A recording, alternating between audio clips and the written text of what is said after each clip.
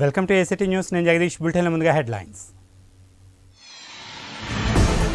మహానేతను మరువలేం. విశాఖలో ఘనంగా వైఎస్ఆర్ వర్ధంతి నివాళులు అర్పించిన నేతలు.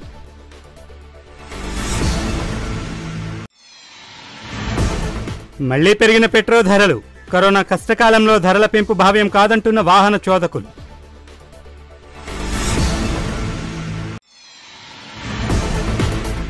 జిల్లాను వణికిస్తున్న కరోనా మహమ్మారి అంతకంతకు పెరుగుతున్న కేసులు మరణాలు.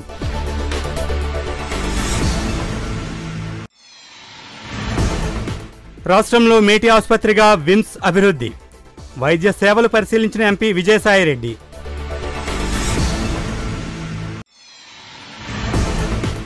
పదకొండో విడత ఉచిత రేషన్ పంపిణీకి సర్వం సిద్ధం. గురువారం నుండి లబ్ధిదారులకు సరుకులు సరఫరా. ఇక డీటెయిల్స్ చూస్తే దివంగత ముఖ్యమంత్రి రాజశేఖర రెడ్డి వర్ధంతి వేడుకలు వైసీపీ పార్టీ అధ్యక్షుడు వంశీకృష్ణ ఆధ్వర్యంలో బీచ్ రోడ్లో రాజశేఖర రెడ్డి విగ్రహం వద్ద ఘనంగా నిర్వహించారు. పర్యాటక శాఖ మంత్రి ముత్తంశెట్టి శ్రీనివాసరావు ఎంపీలు విజయసాయిరెడ్డి ఎంవివి సత్యనారాయణ మాధవి ఎమ్మెల్యే అదీప్ రాజు తదితరులు ముఖ్య అతిథిగా పాల్గొని విగ్రహానికి పూలమాలలు వేసి ఘనంగా నివాళులు అర్పించారు. అనంతరం పేదలకు చీరలు బియ్యం పంపిణీ చేశారు. ఈ కార్యక్రమంలో వైఎస్ఆర్ అభిమానులు పార్టీ నాయకులు కార్యకర్తలు మహిళలు పాల్గొన్నారు.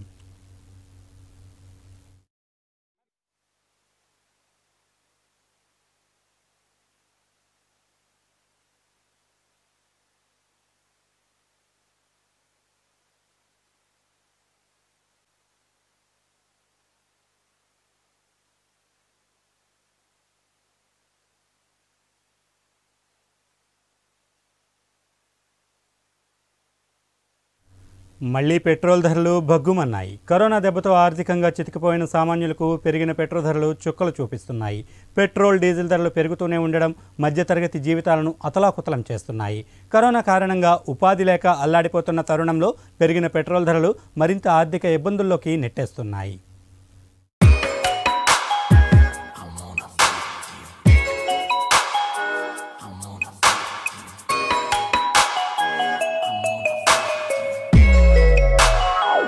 చమురు ధరలు మళ్ళీ జోరందుకుంటున్నాయి. చమురు సంస్థలు గడిచిన పదిహేను రోజుల్లో పదకొండు సార్లు పెట్రోల్ ధరను పెంచాయి.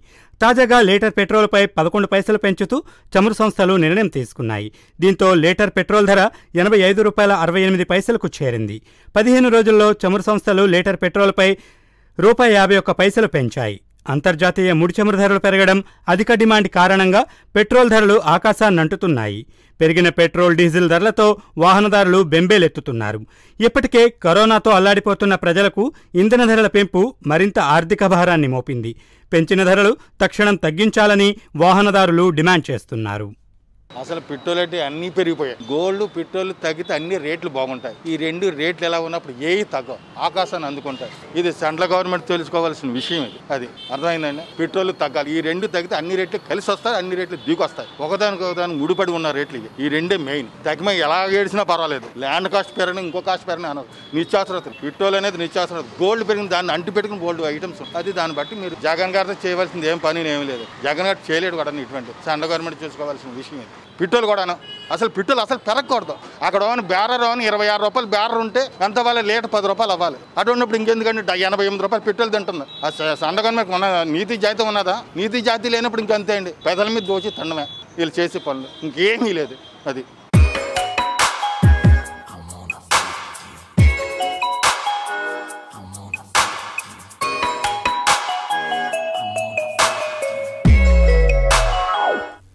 జిల్లాలో కరోనా స్పీడ్ పెంచుంది. స్వైర విహారం చేస్తూ కల్లోలం సృష్టిస్తోంది. ఉధృతిని కొనసాగిస్తూ కేసులు మృతుల సంఖ్యను పెంచుకుపోతోంది. దీంతో వైరస్ పంజాధాటికి జిల్లావాసి వణికిపోతున్నాడు. తాజాగా ఇరవై నాలుగు గంటల వ్యవధిలో వెయ్యి ఇరవై ఐదు కేసులు నమోదయ్యాయి. దీంతో మొత్తం పాజిటివ్ కేసుల సంఖ్య ముప్పై ఎనిమిది వేల నూట ముప్పై ఒకటికి చేరాయి. చికిత్స పొందుతూ ఏడుగురు మృతి చెందారు. మొత్తం మరణాల సంఖ్య రెండు వందల అరవై ఐదుగా నమోదైంది. జిల్లాపై కరోనా పంజా విసురుతోంది. కేసుల నమోదులో వీర ప్రతాపం చూపిస్తోంది. మరణ మృదంగం మోగిస్తోంది. వైరస్ విజృంభణకు జిల్లావాసి గజగజ వణికిపోతున్నాడు. తాజాగా ఇరవై నాలుగు గంటల వ్యవధిలో వెయ్యి ఇరవై ఐదు కేసులు నమోదయ్యాయి. దీంతో మొత్తం పాజిటివ్ కేసుల సంఖ్య ముప్పై ఎనిమిది వేల నూట ముప్పై ఒకటికి చేరాయి. చికిత్స పొందుతూ ఏడుగురు మృతి చెందారు.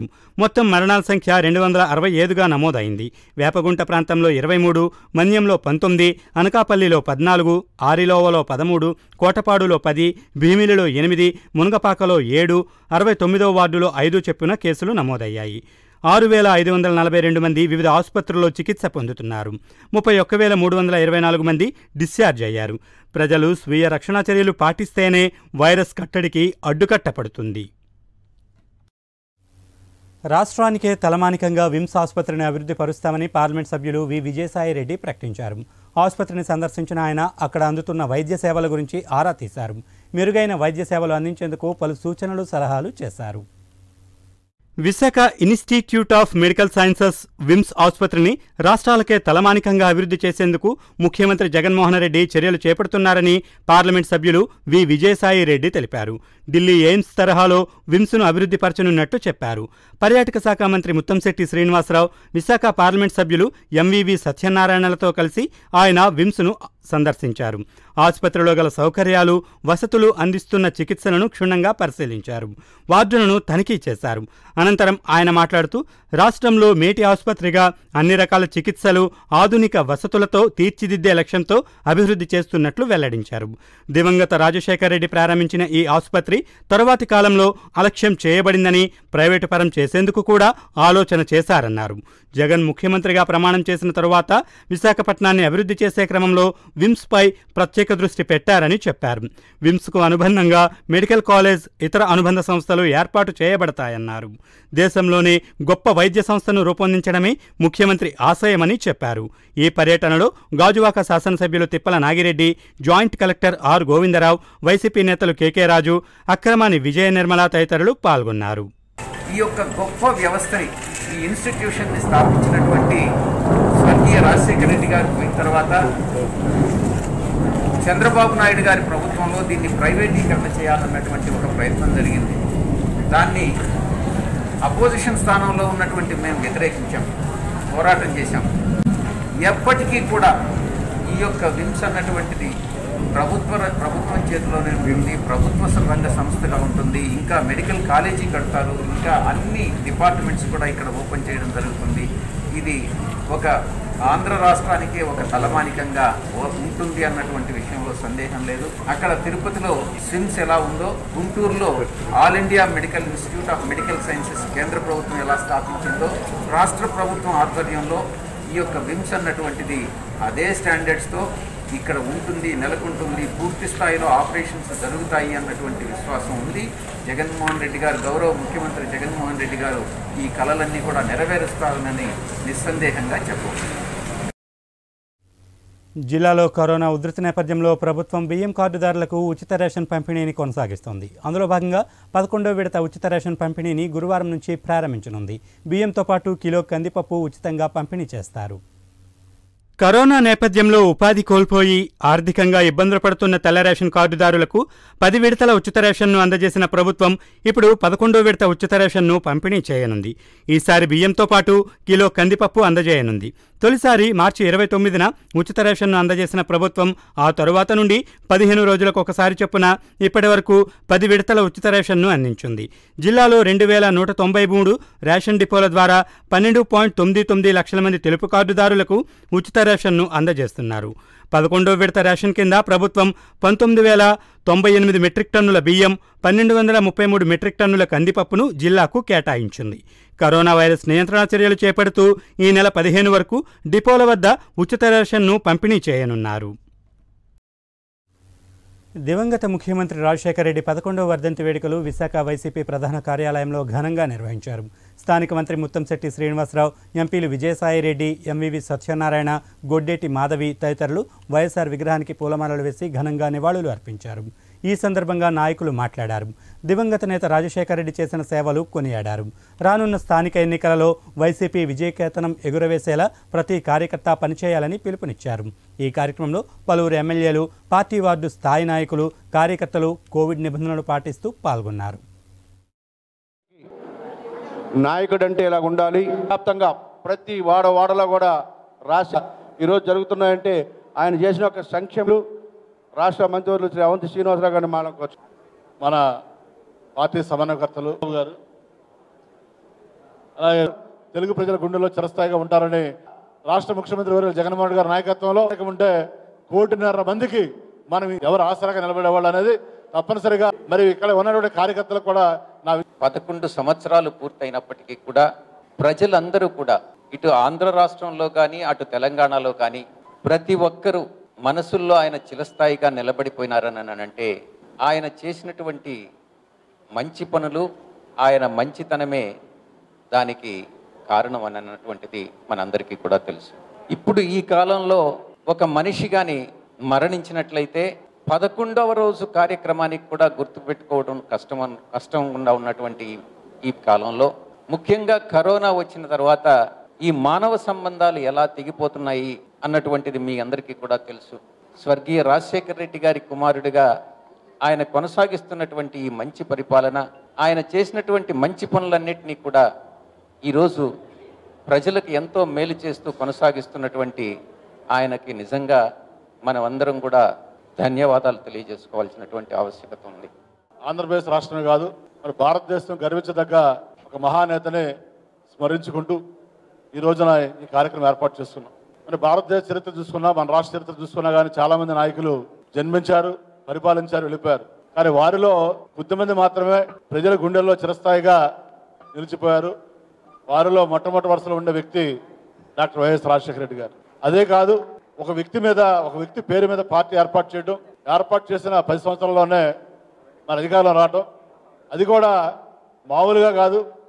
ఒక యాభై శాతం ఓట్లు ఒక రాష్ట్రంలో ప్రజలు వేసి నూట యాభై ఒక్క సీట్లు ఇరవై రెండు ఎంపీలు ఇచ్చి మరి గెలిపించడం అంటే అదొక మహానుభావుడు డాక్టర్ వైఎస్ రాజశేఖర గారికి సాధ్యమైందని ఈ సందర్భంగా మీ అందరూ తెలియజేస్తున్నాను. మరి అన్ని పరిపాలించింది మరి ఐదు సంవత్సరాల రెండు నెలల కాలమైనా కూడా ఐదు సంవత్సరాల రెండు నెలల కాలంలో ఆయన ఒక యాభై ఏళ్ళకు సరిపోను కీర్తి ప్రదర్శనలు సంపాదించుకుని వెళ్ళిపోయారు. రాష్ట్రంలో స్వాతంత్రం వచ్చిన తర్వాత రాష్ట్రం ఏర్పడిన తర్వాత ఏ ఒక్కరినైనా మర్చిపోవచ్చు కానీ రాజశేఖర రెడ్డి గారిని ఏ ఒక్కరు కూడా మర్చిపోరు. ఎందుకంటే రాజశేఖర రెడ్డి గారు ఈవేళ ప్రతి ఒక్క పేద ప్రజల గుండెల్లో ఆయన ఇల్లు కట్టుకున్నారు. ఎందుకంటే పేదలకి ఫీజు రియంబర్స్మెంట్ ఆయన ముఖ్యంగా వేళ గౌరవ మన గౌరవ ముఖ్యమంత్రి గారు జగన్మోహన్ రెడ్డి గారు ఏ విధంగా అయితే కార్యక్రమాలు చేపడుతున్నారో అదేవిధంగా అసలు పునాది బీజం రాజశేఖర రెడ్డి గారి ఉద్దేశం. ఎందుకంటే మన రాష్ట్ర ప్రజలు దేశ ప్రజలు పేదలు బాగుపడాలంటే చదువు ఉండాలి వారికి ఇల్లు ఉండాలి వారికి ఆరోగ్యం ఉండాలని ముఖ్యంగా ఆయన నిర్ణయం తీసుకుని ఆ రోజే పేదలకి మంచి చదువులు చదవాలని ఇంజనీరింగ్ కాలేజీలు కానీ లేదంటే మెడిసిన్లో కానీ లేదంటే పై చదువులు చదవాలకు ఫీజు రియంబర్స్మెంట్ ప్రవేశపెట్టింది దేశంలోనే మొట్టమొదటిసారిగా మన రాజశేఖర రెడ్డి గారు. ఆయన తనయుడైన మన ముఖ్యమంత్రి గారైన జగన్మోహన్ రెడ్డి గారు మన ముందు ముఖ్యమంత్రిగా ఉన్నారు. ఆయన మన అధికారంలో మనందరం కూడా ఉన్నాం కాబట్టి పేదలందరూ సంక్షేమంతో సంక్షేమ పథకాలు ముందు తీసుకెళ్తారని నేను ఆశిస్తూ నేను సెలవు తీసుకున్నాను. ఈరోజు కాంట్రాక్ట్ పద్ధతిలో నియామకమైన తమ పోస్టులను రెగ్యులర్ చేయాలని కోరుతూ విశాఖలో నర్సింగ్ ఉద్యోగులు రోడ్డెక్కారు. దివంగత ముఖ్యమంత్రి రాజశేఖర రెడ్డి వర్ధంతి సందర్భంగా కేజీహెచ్ పర్యవేక్షణాధికారి కార్యాలయం వద్ద నిరసన కార్యక్రమాన్ని చేపట్టారు. ముందుగా రాజశేఖర రెడ్డి చిత్రపటానికి పూలమాలలు వేసి నివాళులు అర్పించారు. అనంతరం ప్లకార్డులు పట్టుకొని నినాదాలు చేశారు. కోవిడ్ విపత్కర పరిస్థితులలో ప్రాణాలను పణంగా పెట్టి విధులు నిర్వర్తిస్తున్నామని చెప్పారు. సమాన పనికి సమాన వేతనం ఉద్యోగ భద్రత కల్పించాలని కోరారు చాలా మంది సఫర్ అవుతూ ఈవెన్ ప్రెగ్నెంట్ స్థితిలో కూడా వాళ్ళు ఉద్యోగాలకు వెళ్ళడం జరిగింది పాజిటివ్ సైడ్ ఆశతో ఏంటంటే జగనన్న గారు మాకు హామీ ఇచ్చారు కదా.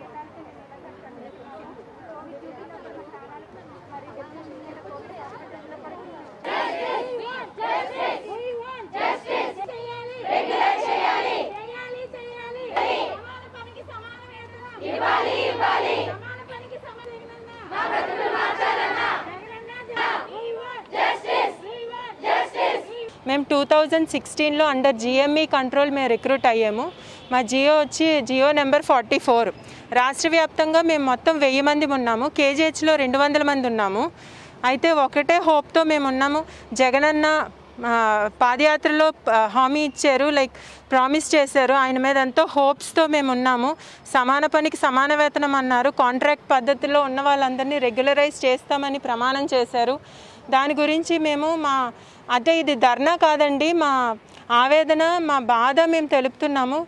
కోవిడ్ డ్యూటీలో ఈ విపత్కర పరిస్థితుల్లో మేము కోవిడ్ డ్యూటీస్ ఫస్ట్ చేసామండి మేము కోవిడ్ డ్యూటీస్ ప్రెగ్నెంట్ వాళ్ళు ఉన్నారు. చాలామంది మా స్టాఫ్లో కూడా పాజిటివ్ వచ్చింది. ఏ సెక్యూరిటీ లేకుండా మేము చేస్తూ ఉన్నాము. తక్కువ జీతానికి. మొన్న రిక్రూట్ చేశారండి. వేరే జియో తోటి వాళ్ళకి ముప్పై నాలుగు వేలు ఇస్తున్నారు. అంటే ఒకే పనికి ఇన్ని ఇన్ని వ్యత్యాసాలు ఏంటో ఒకసారి జగనన్న దృష్టికి మాకు అపాయింట్మెంట్ దొరకలేదు మేము ఆయనకి కలుసుకోలేం కాబట్టి మీడియా ద్వారా మా ప్రాబ్లమ్ని మేము జగనన్న దృష్టికి తీసుకెళ్ళాలని ఆశపడతా ఉన్నాం. అంటే మేము రెండు వేల పదహారులోని కాంట్రాక్ట్ బేసిస్లో రిక్రూట్ అయ్యి ఇక్కడ సేవలు అందిస్తున్నాము. కేజీహెచ్లో కాదు రాష్ట్ర వ్యాప్తంగా కూడా. అందుకని చెప్పి ఈ కాంట్రాక్ట్ బేసిస్ పద్ధతి అనేది మాకు చాలా తక్కువ జీతాలతో మేము పనిచేస్తున్నాము ఇక్కడ. తర్వాత ఏంటంటే ఇప్పుడు మాకు ఈ కోవిడ్ డ్యూటీస్ కూడా వేశారు. ఈ కోవిడ్ డ్యూటీస్లో మాకు చాలా తక్కువ జీతాలతో పనిచేసాము ఎంతోమంది పాజిటివ్ వచ్చారు ఈ డ్యూటీస్కి వెళ్ళడం వల్ల. అందులోనూ ప్రెగ్నెంట్ లేడీస్ కూడా డ్యూటీస్కి అటెండ్ అయ్యారు. దానివల్ల మేము ఎంతో సఫర్ అయ్యాము. అయినా కూడా మేము ధైర్యంతో ఎన్- ఎదుర్కొంటూ చేస్తున్నాం సేవలు అందిస్తున్నాము. ఇప్పుడు ఈ కారణంగా వైఎస్ జగన్ గారు మాకు ఏదైనా మంచిగా చూసి కాంట్రాక్ట్ పద్ధతిని రద్దు చేసి రెగ్యులర్ చేస్తారని మేము ఆశిస్తున్నాము. ఈ ప్రభుత్వంలోనే మాకు న్యాయం జరగాలి. జగనన్న గారు మీరు మాకు మంచి చేస్తారని మాకు రెగ్యులర్ చేసి మాకు రెగ్యులర్ చేసి మా బ్రతుకులు మారుస్తారని మేము కోరుకుంటున్నామండి. జగన్మోహన్ రెడ్డి పాదయాత్ర సమయంలో ఇచ్చిన హామీలన్నీ నెరవేర్చాలంటూ విశాఖపట్నంలో అయితే కాంట్రాక్ట్ బేస్ నర్సులందరూ కూడా ధర్నా చేయడం జరుగుతూ ఉంది. అయితే ప్రస్తుతం వీళ్ళు ఇరవై రెండు వేల అంటే తక్కువ జీతానికి ఇరవై రెండు వేల ఐదు వందల రూపాయలు మాత్రమే జీతంతో పనిచేస్తున్నారు తర్వాత ఇప్పుడు ప్రస్తుతం తీసే కా ఎవరైతే రెగ్యులర్ ఉద్యోగం ఉన్నారో ముప్పై నాలుగు వేల వేతనంతో పనిచేస్తూ ఉన్నారు.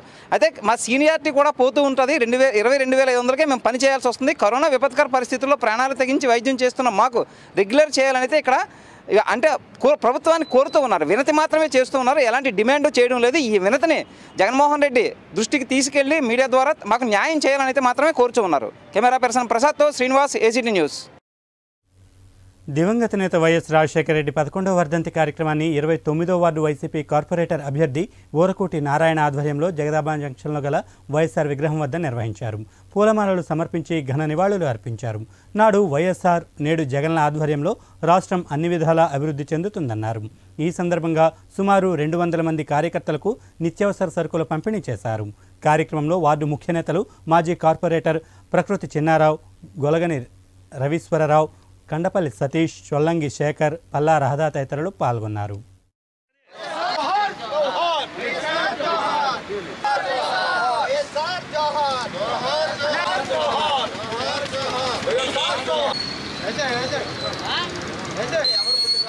ఒకసారి ఒకసారి ఇవ్వండి అమ్మ అది కూడా అది కూడా సార్ రాదమ్మా. కలదు పెట్టుకోండి దగ్గరండి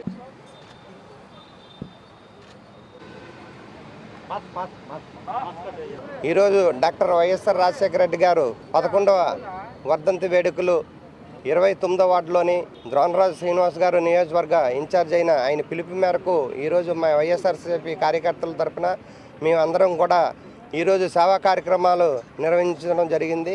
అలాగే మన అమెరికన్ హాస్పిటల్ ఓల్డేజ్ హోమ్లో మార్నింగ్ బ్రేక్ఫాస్ట్ మధ్యాహ్నం లంచ్ కూడా ఇవ్వడం జరిగింది. అలాగే ఈరోజు రాక్ష రాజశేఖర రెడ్డి గారు మన ముందు లేకపోయినా ఆయన ప్రజల మధ్యలో ఎప్పుడు స్థిరస్థాయిగా బతికే ఉన్నాడు. ఆయన తీరని లోటు ఈరోజు ఆయన తనయుడు Jaganmohan Reddy daring and dashing అయిన మన ప్రీతి నేత జగన్మోహన్ రెడ్డి గారు ఈరోజు ప్రజలందరికీ ఆయన లేని లోటు ఈరోజు తీర్చడం జరుగుతుంది. ఈరోజు ప్రతి ఒక్క ఆయన పాదయాత్రలో చెప్పిన పథకాలన్నీ కూడా సంవత్సరం కాలంలోనే అమలు చేయడం అనేది ఈరోజు మన దేశ చరిత్రలోనే లేదు. అన్ని రాష్ట్రాలు కూడా మన ఆంధ్రప్రదేశ్ వైపే చూస్తున్నాయి. ఎందుకంటే ఇంత చిన్న వయసులోనే ఈ ముఖ్యమంత్రి చేసిన అభివృద్ధి కార్యక్రమాలు ఏ రాష్ట్ర ముఖ్యమంత్రి కూడా చేయలేని విధంగా ఈరోజు మన ప్రీతి నేత జగన్మోహన్ రెడ్డి గారు చేయడం అనేది ఈరోజు ప్రతిపక్షాలు కూడా ఒక ఏ ఒక్కడు కూడా మాట్లాడలేని పరిస్థితి వచ్చింది. జన సైనికులు మరోసారి వారి ఉదారతను చాటుకున్నారు. జనసేన అధినేత పవన్ కళ్యాణ్ జన్మదినాన్ని పురస్కరించుకొని విశాఖలో పలు సేవా కార్యక్రమాలు నిర్వహించారు. దీనిలో భాగంగా విశాఖ కింగ్ జార్జ్ ప్రభుత్వ ఆసుపత్రికి ఇరవై ఐదు ఆక్సిజన్ సిలిండర్లతో పాటు వైద్య పరికరాలు అందించారు. ఆసుపత్రి పర్యవేక్షణ అధికారి డాక్టర్ సుధాకర్కు జనసేన రాష్ట్ర నాయకులు బొడ్డేపల్లి రఘు ఈ సామాగ్రిని అందజేశారు.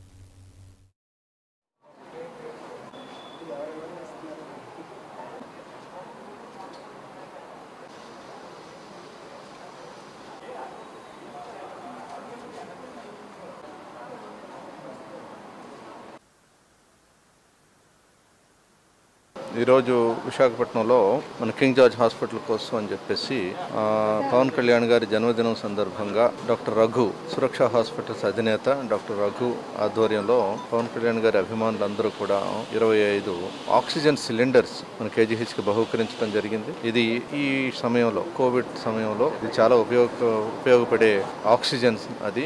ఆక్సిజన్ ఉన్న ఎక్కువ ఉండటం వలన ఎక్కువ మంది పేషెంట్లు మనం బ్రతికించే అలవాటు మనకి అవకాశం ఉంటుంది. అయితే ఇది ఈ యూత్ అంతటినీ కూడా ఈ పవన్ కళ్యాణ్ గారి అభిమానులందరినీ కూడా నేను అభినందిస్తున్నాను. అలాగే I wish a very very happy birthday to Shri Pawan Kalyan garu. ఆయన ఎన్నో జన్మదినాలను ఎలా జరుపుకోవాలని మనసారా ఆకాంక్షిస్తున్నాను. యూత్ అందరూ కూడా స్ఫూర్తి చెంది ఇలాంటి వితరణ కార్యక్రమాల్లో పాల్గొవాలని చెప్పేసి నేను కోరుతున్నాను. మరి ఈరోజు పవన్ కళ్యాణ్ గారి పుట్టినరోజు సందర్భంగా వారోత్సవాలు జరుగుతున్నాయి. ఈ వారోత్సవాల్లో భాగంగా మరి రాష్ట్ర వ్యాప్తంగా ఈ ప్రోగ్రాం తీసుకున్నారు. రాష్ట్ర వ్యాప్తంగా అంటే ఇప్పుడు హంగులు ఆర్భాటాలకు వెళ్ళకుండా బ్యానర్లకి వాటికి వీటికి ఖర్చు పెట్టకుండా ఇప్పుడు కేవలం ఏంటంటే ప్రతి జన సైనికుడు తన సొంత డబ్బుతో కాంట్రిబ్యూట్ చేసి ఎవరికైతే అవసరం అంటే ఇది ఒక పార్టీ కాకుండా సేవా దృక్పథంతో అంటే ఇప్పుడు ఇక్కడ డొనేట్ చేసిన సిలిండర్ రేపు ఎవరు వాడతారో కూడా తెలియదు. అంటే పార్టీలకు అతీతంగా మానవత్వంకి దగ్గరగా మనం ఇలా ఇలాంటి సిలిండర్లు డొనేట్ చేయడం జరుగుతుంది. గతంలో విమ్స్లో డొనేట్ చేశారు పార్టీ పార్టీ తరపున. ఇప్పుడు ఇక్కడ ఒక పాతిక సిలిండర్లు పార్టీ తరపున డొనేట్ చేస్తున్నాం. ఇట్లానే మేము అందరం డబ్బులు పూల్ చేసుకొని ఎన్ని సిలిండర్లు అయితే అన్ని సిలిండర్లు కొని మాక్సిమం ప్రాణాలను కాపాడడానికి. ఎందుకంటే ఈ కరోనా సిచ్యువేషన్లో మీకు ఆక్సిజన్ అంటే బంగారం కన్నా ఎక్కువైపోయింది. ఇది దొరక్క చనిపోయిన వాళ్ళు చాలా మంది ఉన్నారు. కాబట్టి ఇలాంటివి ప్రతి ఇంటికి మా వంతు మేము కృషి చేసి ప్రతి ఇంటికి పంపించి పవన్ కళ్యాణ్ గారి పేరు నిలబెడతామని పార్టీ పరువు నిలబెడతామని సభాముఖంగా తెలియజేసుకుంటూ సెలవు తీసుకుంటున్నాను. నాకు ఈ అవకాశం ఇచ్చిన వాళ్ళందరికీ ధన్యవాదాలు హిందుస్థాన్ షిప్ యార్డ్ నూతన సీఎండీగా నావికాదళ విశ్రాంత అధికారి కమోడర్ హేమంత్ ఖత్రి బాధ్యతలు చేపట్టారు. గత నెల నెలాఖరులో CMD rear admiral Sharat Babu పదవీ విరమణ చేయడంతో ఆ స్థానంలో ఖత్రి నియమితులయ్యారు. హేమంత్ ఖత్రి ఇప్పటివరకు అదే సంస్థలలో స్ట్రాటజిక్ ప్రాజెక్ట్ సంచాలకులుగా పనిచేశారు. యార్డులోని INS Sindhuvir INS Astradharini refit పనుల్లో కీలక పాత్ర పోషించారు. భారత నావికాదళంలో ఫ్లీట్ బ్యాంకర్లు ఐఎన్ఎస్ దీపక్ శక్తి వంటి నౌకల నిర్మాణంలో సుదీర్ఘ అనుభవం కలిగిన వ్యక్తి అతను.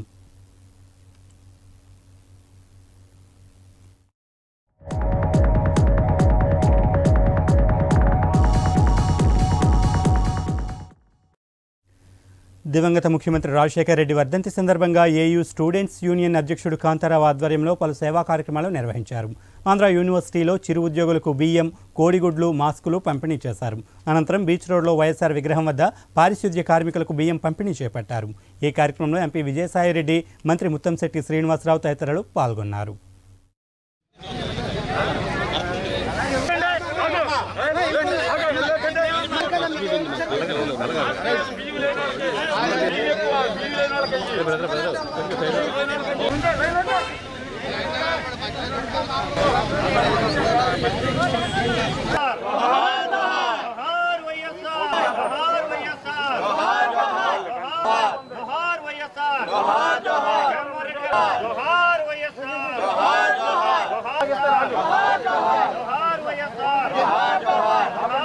మహానేత పేద ప్రజల ఆశాజ్యోతి మాజీ ముఖ్యమంత్రి వర్యులు గౌరవనీయులు దివంగత నేత వైఎస్ రాజశేఖర రెడ్డి గారి వర్ధంతి సందర్భంగా వైఎస్ఆర్ విద్యా దివం ఆధ్వర్యంలో ఆంధ్ర విశ్వవిద్యాలయంలో ఈరోజు సేవా కార్యక్రమాల భాగంగా బియ్యం పంపిణీ కోడిగుడ్ల పంపిణీ మాస్కుల పంపిణీ కార్యక్రమం చేపట్టడం జరిగింది. ముఖ్యంగా ఏ దే దేశంలో ఏ రాష్ట్రంలో లేని విధంగా మొట్టమొదటిసారిగా వైఎస్ రాజశేఖర రెడ్డి గారు ఈ రాష్ట్రంలో ఎవరు కూడా పేదరికంతో ఉన్నత విద్యకు దూరం కాకూడదని చెప్పి ఫీజు రియంబర్స్మెంట్ అనేటువంటి బృహత్తరమైన పథకాన్ని ప్రవేశపెట్టడం జరిగింది. ఈరోజు బీసీ ఎస్సీ ఎస్టీ విద్యార్థులు ఇంజనీరింగ్ మెడికల్ కళాశాల మెట్లెక్కి డాక్టర్లుగా ఇంజనీర్లుగా రకరకాల ఉద్యోగాలు సెటిల్ అయ్యారంటే ఈరోజు రాజశేఖర రెడ్డి గారి దయ. ఈ నేపథ్యంలో ఆయన మన మధ్య లేకపోయినా ఆయన జ్ఞాపకాలన్నీ కూడా ఈరోజు ఆరోగ్యశ్రీ కానీ వన్ నాట్ ఎయిట్ కానీ ఇలాంటి బృహత్తర పథకాలన్నీ కూడా మన ప్రజల మధ్యలో ఉన్నాయి. ఈ నేపథ్యంలో ఆయన ఆశయాలను కొనసాగించడానికి గౌరవ ముఖ్యమంత్రి జి వైఎస్ వైఎస్ జగన్మోహన్ రెడ్డి గారు అమ్మ ఒడి లాంటి బృహత్తరమైన పథకాలను ప్రవేశపెట్టి పూర్తి స్థాయి రీ పూజ రియంబర్స్మెంట్ కూడా ప్రవేశపెట్టి ఆయన ఆశయాలు నెరవేరుస్తున్నాం ఆయన ఆశయాలు నెరవేర్చడానికి విద్యార్థి లోకమంతా కూడా సిద్ధంగా ఉందని చెప్పి తెలియజేస్తాం బులెటిన్ ముంచే ముందు హెడ్లైన్స్ మరోసారి. మహానేతను మరువలేం. విశాఖలో ఘనంగా వైఎస్ఆర్ వర్ధంతి నివాళులు అర్పించిన నేతలు.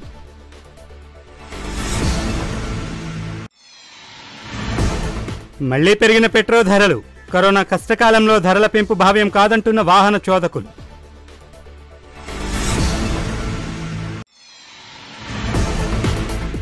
జిల్లాను వణికిస్తున్న కరోనా మహమ్మారి అంతకంతకు పెరుగుతున్న కేసులు మరణాలు.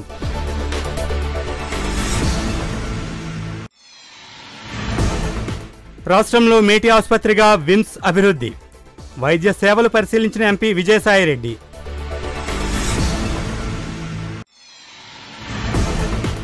పదకొండో విడత ఉచిత రేషన్ పంపిణీకి సర్వం సిద్ధం.